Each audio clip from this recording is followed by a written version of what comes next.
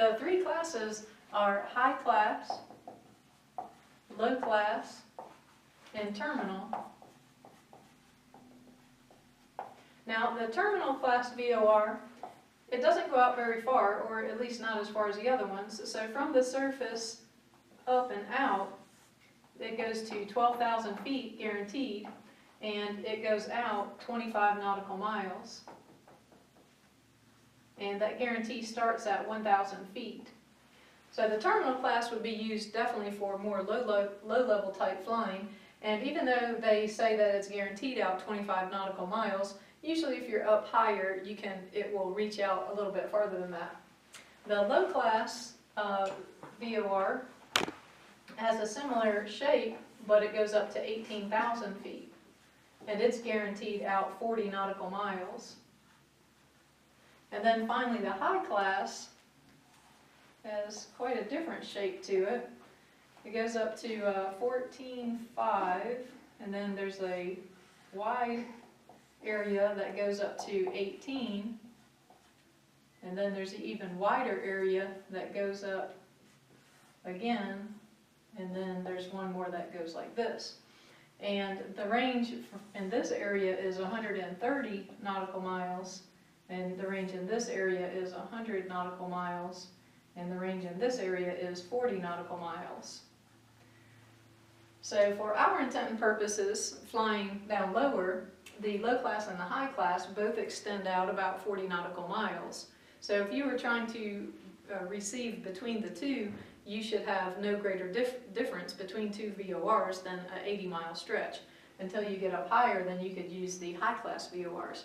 So when you fly later in your career in the jet routes, you're flying predominantly by the high class VORs. And you may ask, well, how do I know what, which VOR is which VOR? Well, that information is given in the, the uh, airport facility directory. If you look at any airport near that VOR station, and you read uh, down below the comments section in the, or the remarks section down in where the uh, communication and navigation, navigation is given, uh, you will see that it does tell you what class of VOR this is. Now, the different types of VORs let you know if the VOR works with DME or not. So there's three types of VOR symbols that you would see on the sectional chart.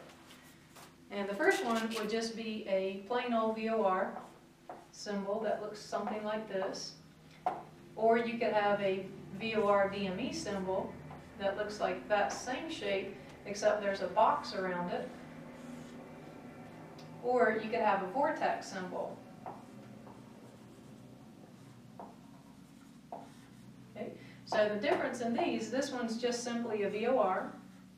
This one is a VOR with DME capability. And this one is a VORTAC, which for our intent and purposes is the exact same thing as a VOR DME. A TACAN is something that the military uses. We don't, it doesn't pertain to us and we don't use it. But if it is a TACAN, then it does have the DME capability. And in case you forgot what DME is, um, on your, not all airplanes have it, but if you did have it, on your avionics stack, you have your audio panel, and then typically you'll have COM1 and NAV1, and maybe COM2 and NAV2. And then you may have an additional piece of equipment and then your transponder. So if you had the DME equipment, the DME reads your time and distance to or from a VOR station. So if you were flying along up here and there was a VOR station down below. And the, the uh, DME will send a signal to and from that station, but it reads in slant range. And slant range, what that means is that it, if you were, for example, uh, 6,000 feet directly above the station, then your DME would count down to one mile and then start counting back up again because it reads your distance to and from the station. So if you were in this position, the DME distance might read 1.5, and then as you're directly over it, it would read 1, and then as you fly away, it would read 1.5 again, so it reads slant range. Now if you're using GPS, GPS reads point to point, So it would, GPS will count down to zero. So just keep in mind that DME is a great piece of equipment. It does show our distance from the station, and if you're flying directly to the station or directly from the station, it will also indicate your ground speed and time. So it's a nice piece of equipment, but you do have to remember that it does read slant range.